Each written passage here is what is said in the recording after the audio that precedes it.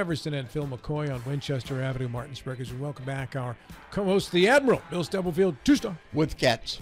You have cats? Bill? No, I don't have. I didn't think so. Uh, also, uh, New York Times bestselling author John Gilstrap, cats or no cats? I hate cats. Just hate cats? I did not go that far, John. My father-in-law hates cats. I of all the things to hate in life, there's so many things out there that are worth hating. Why cats? I, I, I just don't. I don't like them. What is it? I don't. Well, first of all, I'm really allergic to them, and they Okay, know it. as they is know my it. wife, So if. I if They if there'll be 30 people in a room, and the cat will come up and sit in my lap just Yeah. to make me sneeze. does And that to my wife too. And a Facebook account is just bombed. But everybody's coming in, fussing at John with supporting cats. I was on a panel at BoucherCon a couple of years Uh, ago. BoucherCon. BoucherCon, yeah. And there are a lot of cats. Come on, bro. I've done worse. Many times. And there are a lot of cat lovers among mystery readers. And Yeah, I that makes sense. I said something disrespectful about cats. And Oh, the room turned on you. Huh? And you could feel it. you know, It- yeah, you, you kind of do it. You have to do a shtick, and people are with you, and they're laughing. And I did one cat joke. And And was that like, was the end. oh wow. Yeah. And and you can't. It's a hole you can't dig out of. So you just sit there quietly and let the other panelists do their thing. I'm not a cat person, but I don't hate them. Why don't I don't hurt them? You know, it's not like I Except I Mr. don't Jinx. Have a, Mr. Jinx was my uh, friend Sean Sweeney's cat when I, when we were kids. And if you went and touched anywhere near where Mr. Jinx sat, he would take out those claws and slice you. And he would just keep going at you until you got away from that chair. He was just a mean, mean cat. I had a uh, uh, colleague call me late at night, uh, Saturday night, which I took great exception to because it's so late. But Nine thirty. no, it was, it was after that. Uh, a couple minutes. but but the, I found out later the reason he was calling me that his little dog, little Chihuahua dog, had gotten in a fight in the back of their yard with a Siamese cat, and the Siamese cat had literally pulled an eye out of the dog. Oh. And so they were trying to find a vet that would uh, uh, be able to put the eye back. And now that dog is a pirate. Is that what you're going to do? The eye, the, with a patch on one eye. That's right. Our, our guest is John Everson from the Mirius Group of Financial Advisors, Winchester Avenue, Martinsburg. John, good morning. Gentlemen, good morning, and let me get the uh, the question of the day. Uh, let's let's let's tackle it right up front out of the starting blocks. Uh, I do not have a cat. Uh, my wife and I are not uh, cat people. It's not that we dislike them. We are. Uh, we have a grand cat, if I can say it that way. Yeah. Uh, John Gilstrap will appreciate uh, the story I'm about to tell, which is several years ago, our daughter and son-in-law bought a house. The house conveyed with a cat. and what had happened, the folks that had owned the house previously uh, moved out, moved away, moved out of state, uh, left their their cat uh, on the front porch when they departed. And uh, uh, weeks, months later, our daughter and son-in-law buy this house. And uh, you know they go to closing. They're excited. Let's go go see our new house and so forth. Uh, they get out there and um, there's this emaciated cat uh, on the front porch. Just you know, so they had a bottle of water with them. They gave this this cat a drink, and it just you know drank the entire bottle of water. So our daughter calls the office. Hey, mom, dad, are you guys going to run over uh, to see the house after you guys leave the office this afternoon? Well, yeah, we had planned to. Why?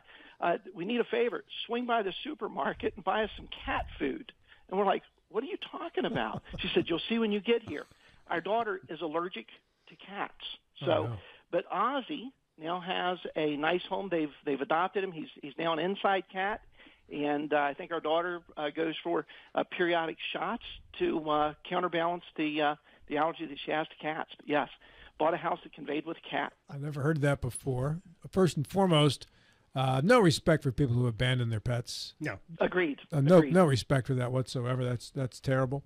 Uh, and then, really, quite magnanimous of your daughter with cat allergies to accept the cat instead of taking it to the Humane Society. That's Uh, pretty that, impressive. that I agree with. And here, here's here's the funniest thing about this is um, since you know, of course, the, the, you know they buy the house, the the cat you know adopts this new family. Hey, welcome to my home, if you will, Mm-hmm. and I'm glad you guys moved in with me. Uh, anyhow, Because that's how cats um, are. By the way, that's Yeah. my room, not yours. yes, I mean, e- exactly. And then the cat does kind of, hey, no, no, no, this this is my space. You guys go over there. Anyway, what's really interesting, uh, we now have a granddaughter that's a year and a half old. That cat is, if um, our granddaughter, of course, she's still, you know, uh, kind of pre-toddler at this point. But when she was an infant, when she would start to cry, because Ozzy would hang out in the nursery. If she would was taking a nap, whatever, would start to cry, he would come to find Emily and would let her know, hey, that baby needs attention. And uh, very protective of our granddaughter is this cat. So Cool. Uh, have- That's have not what the cat was doing. The cat was saying, "Hey, this creature is annoying me. It's annoying me. Do Yeah, something exactly. about it." No, they got a guard cat. You're making enemies in our Facebook comment section, Gilstrap. I'm telling you right now. Oh, mercy. Hey, and yeah, hey, hey, real quick, Yeah. and if they if, if they want to vilify a John, remember it's not John Everson. It's just John- the cat. John So, Gilstrap. yeah, yeah, yeah, There you go. Good, Okay. good distinction made, John.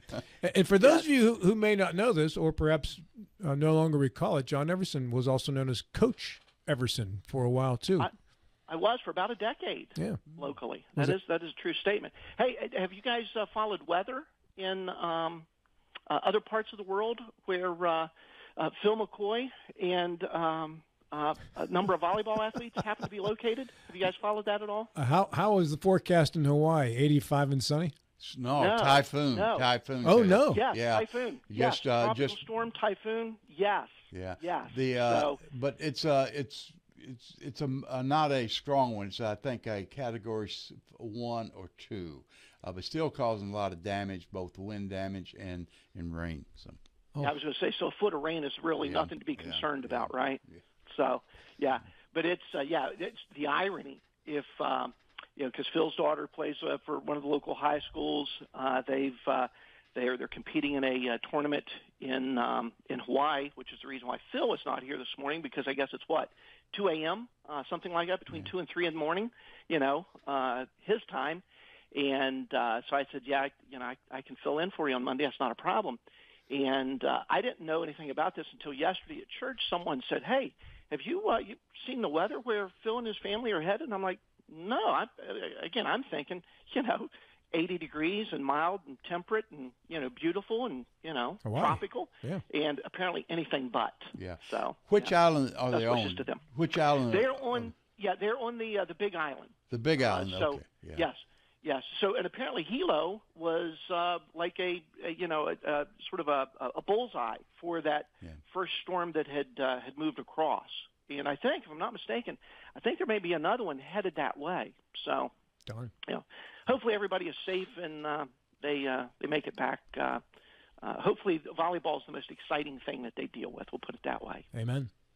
John, looking at uh, futures markets right now, the Dow and the S and P slightly higher, Nasdaq Yep. slightly lower. We had a pretty good indication last week that the Fed is going to begin cutting interest rates, and I, I guess the question now is, what will they start with? A quarter point, a half a point, what? Yeah, you know, so so Rob, you know, good good question. Uh, and here's what's really interesting: there's been so much anticipation about that all year, and I, you know, actually going back almost a year ago when they had said, announced, you know, probably sometime in 2024 we anticipate, you know, numerous rate cuts and so forth because we anticipate, you know, inflation, you know, being, you know, uh, relatively under control, dialed back, and so forth. And so right now, I think, you know, any move that they make I think is probably going to be read in a bit of a positive light. I don't know if you guys saw this or not. There was a report that was released on, um, I think it came out Friday, that talked about the number of uh, pending home sales that had collapsed during after a contract had been signed.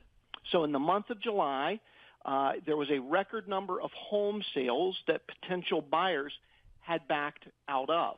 And there was a lot of speculation with regard to, you know, why did that occur? And if I'm not mistaken, I think that was the most, the, the, the highest number of um, people pulling out of a home purchase agreement in uh, either in many, many, many years or may, maybe in history. I don't I don't know that for a fact. Here's what's interesting though, because when I started thinking about that, I thought, well, that doesn't surprise me at all. Number one, you've got the Fed continuing to talk about soon we're going to lower interest rates. Well, there's there's going to be a ripple effect back on the mortgages as a result of that move. Okay, so why would I go ahead and you know finalize this this this purchase now if the Fed, you know, next month is going to lower interest rates? We're you know two months out, you know, from from the month of July. Why would I go ahead and commit now? Number one. Number two, we got one of our presidential candidates talking about a twenty-five thousand dollar. Uh, I think it's a first-time home buyer, if I'm not mistaken, uh, purchase credit. Well, if if the government's going to give me money to purchase a home at potentially lower rates, why would I commit now? And so I think one of the things that we're seeing right now is there's just a lot of um, anxiousness, a lot of uneasiness with regard to a lot of things that are going on. Fed has a, a play in some of that. Uh, politics, you know, presidential campaign and comments made from from a podium are beginning to weigh in on some things. So I think right now we're just seeing a lot of uh, a lot of uh, erratic kind of behavior uh, driven by some of these underlying factors. John, I have a fear that if that $25,000 credit goes into effect, it's going to have a similar effect to what the government backing student loans had on the cost of a college education. I, I, I got a hunch you're right. So think about this. All of our houses are about to go up by $25,000, right? Right. Because on a competitive basis, the pricing on the new ones, it's just going to get marked up. And again, I, I'm one of these guys where I, again, I'm a bit of a, a believer in free market. You know, the government needs to keep their money. You know, instead of trying to influence things and so forth.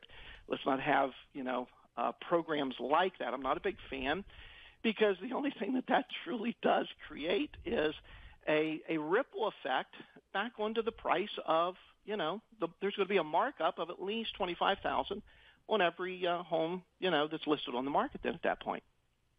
Speaking of the market, we are just about at the end of August. How so far has the month of August been for the major indices, John? Yeah, so if you guys remember, I was on. I think it was three weeks ago, mm-hmm. uh, in the um, uh, the Monday that I was on a couple of weeks ago at the beginning of the month. Uh, late the prior week and that weekend overseas, we had absolutely been just you know, beaten up. In fact, if you remember, I used the, the, the fact that I was already beginning to read words plunge and plummet in media reports right. and so forth, talking about equity markets and such, and you know all the silliness that that was uh, creating. So we went from by the time we got to about the uh, the the fifth or sixth of August, it looked like this is going to be an absolutely horrible month. We reversed that, and we are now positive month to date on pretty much uh, you know across the board on uh, any index that you measure right now. So, and again, I think a lot of this goes back to you know I've always said this. Of course, you know again think about this, fellas. I've been doing this now. I'm uh, I'm in year 39. So in March of of uh, this coming spring, I will begin my 40th uh, year, four decades of having uh, done this. I've been through a number of presidential uh, elections. And what's interesting is that the way I've always described them is most presidential elections for financial markets, those years are relatively benign. And what I mean by that is they typically are years where they're fairly mild, they're fairly favorable, uh, they're not uh, particularly harmful to the uh, either the incumbent or the existing administration and so forth. You know, they're they're trying to keep from you know you know kind of rocking the boat, and they don't want you know uh, a real uh, real erratic kind of event. So, you know, what we saw at the beginning of this month is where it was was really volatile for a couple of days. That has totally reversed itself, and all of a sudden, people have forgotten, you know, what was taking place just three weeks ago. Billy. Yeah. Good morning, John. Uh, morning. Are the uh, the market does not seem to have responded to the suggestion of a rate cut, either a quarter or a half a percent. Uh, two questions. One, do you anticipate the market will respond once a rate cut is is identified? What the level? And second question, will there be certain sectors that will benefit? Yeah, good question. I think uh, uh, uh, the fir- first answer to your first one is uh, I think that that cut has been so anticipated that an awful lot of what of, of that move has already been baked in. I think a lot of that has already been accounted for. Okay, we may see though when that announcement actually happens, we'll probably see a little bit of a surge in equity markets because all of a sudden everything becomes cheaper. Okay response to your second question is, you know, you think about this. Any any kind of a product that is uh, interest rate sensitive, you know, obviously large items. So whether it's houses, automobiles, um, remodelings, things of, of that nature, anything where that typically where people are making those purchases with borrowed funds, uh, I think you'll start to see a little bit of a, a, a lift, a little bit of a pickup in some of uh, some of those sectors. Uh, combined then with, uh, I wouldn't be a bit surprised, but what we start to see just a, a broader influence as well because as, as, you know, the cost of accessing capital becomes less expensive for any kind of a business, and I don't care whether you are, you know, at the uh, the very beginning of of the production cycle, like a farmer is, or you're at the end of the production cycle, like say a, uh, an automobile assembly plant would be, anytime you have cheaper capital, suddenly the cost of your entire operation becomes um, a little more affordable, and it's not as uh, not as expensive to operate. So I think eventually we'll start to see that ripple its way back through just the economy as a whole. John, my wife has a TSP account. She works for the federal government, so yeah. she's in a few different funds: S and P 500 index fund, uh, small cap fund, and the small cap funds, when the interest rates were low, were doing really well. But yes, they were. Since the rates went up, the small caps have lagged the S and P funds greatly. If yes. interest rates then are cut over the next two to three years, as been indicated by Chairman Powell can we expect that a small cap index fund would then respond in kind and, and start to compete with the S&P 500 better? Yeah, and that kind of ties back, Rob, to a little bit of what I was just saying. Anytime uh, cost of capital becomes more affordable, uh, just think about this. You know, the, the, the large, uh, well-capitalized, uh, typically multinational firms, you know, in many instances, you know, they, they can operate – uh, pretty efficiently. They're not uh, heavily dependent upon someone else's money to operate. Generally, the small caps, the, the smaller your capitalization, the more dependent you become on, uh, uh, you know, uh, financed uh, funds.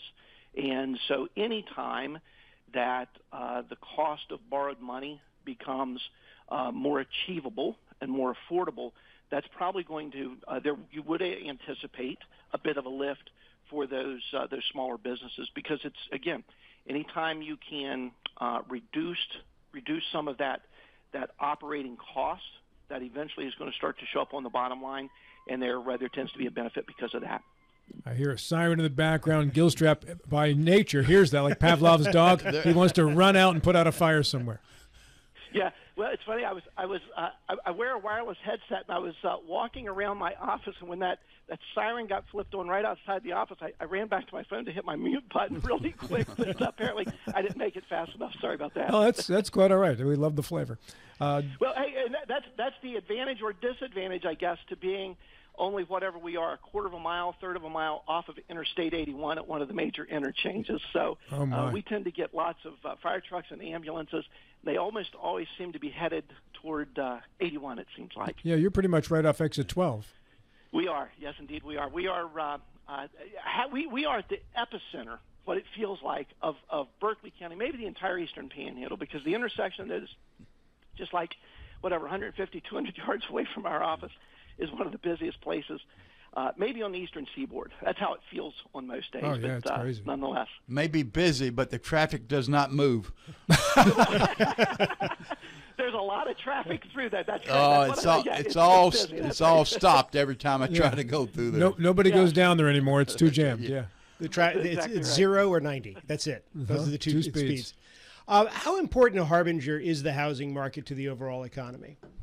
Uh, yeah, ho- housing is really important because you think about it to a large degree. And I've often said this, you know, a lot of times, you know, having worked again for decades doing this, I always remind people when they're talking about, well, you know, we're thinking about maybe uh, selling our house and, you know, uh, you know, getting a newer one, uh, whether it's a, a better neighborhood or just a, a newer home or whatever. I always remind them that, look, your current furniture may look great in the house that it's in, but all of a sudden, if you've got a new place, now all of a sudden that, that sofa that maybe looked fine where it was doesn't look as good in that new house. And so when you stop and you think about it, housing spurs an awful lot of uh, ancillary uh, purchases that tend to come off of that. So everything from, you know, equipping a place, whether it's window treatments and furniture to, you know, lawn care equipment, you know, the old push mower that I had on the the postage that I use for the postage stamp size yard, you know, now that I've got a bigger yard, well, I don't want to push mow that anymore. Now I need a, a riding lawn mower and I need a, a weed trimmer and, you know, all of these other things. So housing really is a, a key component because there's so many ancillary uh, products that tend to uh, ripple effect off of housing purchases that it does have a pretty significant in fact, uh, effect on the, uh, the economy as a whole. You know, my neighbor Luis moved out recently and as I went by his house, he had one of those big roll off dumpster carts in his driveway. Oh, yeah, yeah. It was filled with stuff he was throwing out.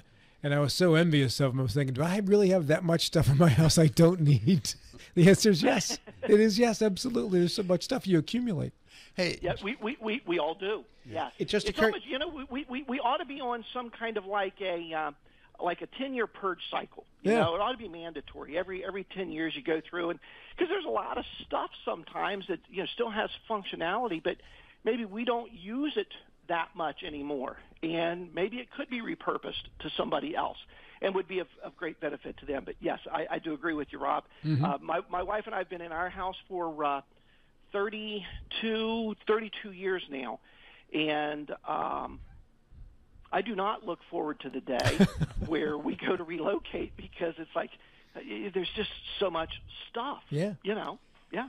Hey, John, this is political season. I know you do not want to get involved with politics, but does the stability of the Fed chair from one administration to the other administration is that a positive thing, or should they do, as some suggest, that the Fed chair be turned over with a new administration?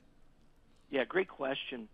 Um, and the way, uh, Mr. Stubblefield, that I answer all questions that tend to be kind of um, uh, where there's there's kind of ultimately a little bit of a political sort of a uh, an undertone to it. We remind people all the time to, to make sure that they don't let politics affect their strategic allocations and the things that they're doing from a portfolio build and design and management point of view. Okay. Uh, now let's go back to your question you know, and it is interesting because oftentimes, you know, those political appointments, you know, the um, the incoming administration, they want uh, folks who who uh, tend to reflect their attitudes and outlooks and perspectives on how capital markets should function and operate, availability of of capital and, and things of that nature.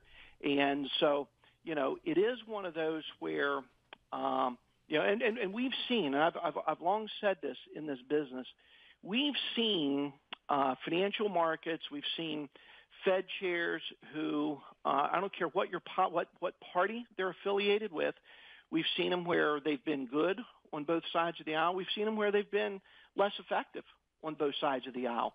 And again, that's why we try to remind people, look, you know, let's be real careful about uh, making major kind of decisions based on what takes place at the uh, on election day or the appointments that are inevitable that are going to spawn off of uh, those results. John, how do we get in touch with you for more information and uh, questions to be answered yep. and asked? Our, our, office is located near the busiest intersection in all of Martinsburg, West Virginia. We're at 1270 Winchester Avenue, uh, just south of the intersection of Winchester Avenue and Apple Harvest Drive. And uh, phone number here at our office is area code 304 263 4343. John, appreciate you pinch hitting. You're the man. I always enjoy speaking with you. The last question is one that Financial Phil would address. Uh, Steelers should choose who is the starting quarterback, Russell Wilson or Justin Fields? Oh, I'd, I'd have to go with uh, uh, Wilson. Yes, Russell O- Wilson. only is. because of I again the experience, the time. Uh, I, I would go there. Uh, Fields to me uh, still remains a bit of a mystery quality. I'll put it that way. All right, well thought out answer. Appreciate it. Thank you, John. There you go, gentlemen. Thanks. Have a good day.